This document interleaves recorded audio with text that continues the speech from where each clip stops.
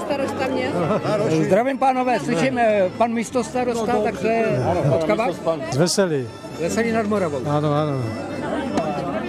Takže podpora, Jasně, určitě. Musíme podporovat. Boj za vodu je prvořadý. a jak to vidíte?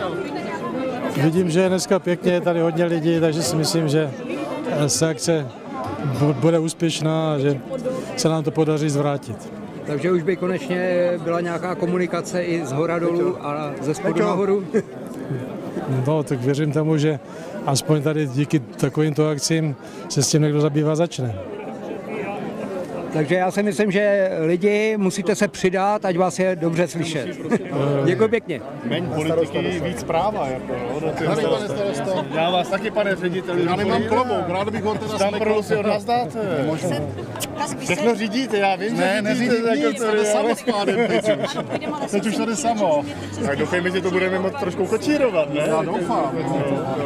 Účast hojná, Jako obdivuhodná. je, jako, aspoň jim ukážeme, že tady jsou lidi, kteří umí držet za jedné, jako za pánu za Ale jedno to je strašně důležitý, je, samozřejmě. je, a to si myslím, že to už je takový národ, že to si musí někdo všimnout už. Že to není To je pan tak. ředitel Vaku. To by vyspovídejte. To mě těší. Sámo Vladimír, Čekoslovákia Infoblog. Tak to je nádherné. Zdravím vás, pane starosta. A pana ředitela vyspovídejte. Ne, tož Chtěl jsem se zeptat, voda teda patří občanům nebo firmě?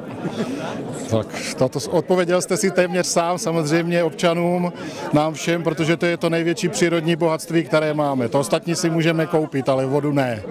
Takže myslím si, že o tom není sporu a nemá smysl o tom dál debatovat. A když vidíte tady to, ten dav lidí, tak eh, si musíte jednoznačně na tuto otázku odpovědět.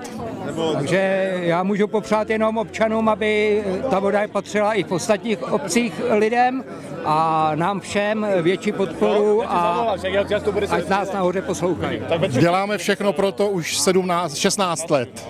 Tam je Takže bojujeme a teď jsme získali obrovského, obrovského podpůrce a obrovskou podporu a velice nás to těší. A samozřejmě ta pomoc obcí a angažovanost lidí, občanů je, je úžasná věc, ať to v Praze vidí. Já si myslím, že můžeme být všichni hrdí eh, na ty naše občany, že konečně vědějí, za co mají bojovat. Přesně tak. Veliká, veliká zásluha a veliký dík všem, kteří přišli. Je vidět, že lidem není jedno, co se kolem nich děje a je to veliká podpora, veliká spruha. Pane ředitelu, a ještě moje otázka, zdravím vás. Zdravím. Myslíte, že to pomůže, ta demonstrace? Eh, jestli to pomůže, nevím, ale samozřejmě bráníme se i soudními, soudní cestou, ale určitě věřím tomu, že to některé konkrétní úředníky v Praze a ve Zlíně nenechá klidnými. To je důležité. Děkuju. Děkuju. Já taky. Děkujeme pěkně.